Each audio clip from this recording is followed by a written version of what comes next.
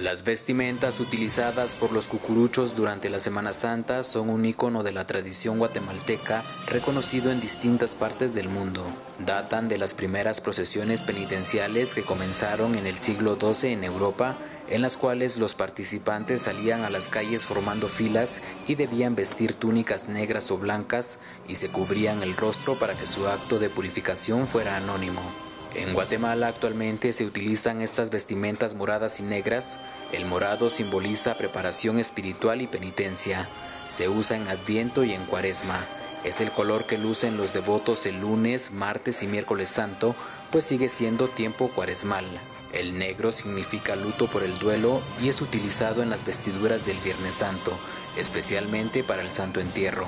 Son complementadas con accesorios como cinturones y capuchas de formas cónicas que han sido modificadas y resultaron de ellas cascos y capirotes. Las mujeres completan su sobrio vestir con madrileñas blancas o negras. De esta forma lucen los devotos católicos durante la Semana Mayor significativos atuendos que les distinguen y contribuyen a la manifestación y fortalecimiento de su fe. Para DCATV informó Jardín Yelmo.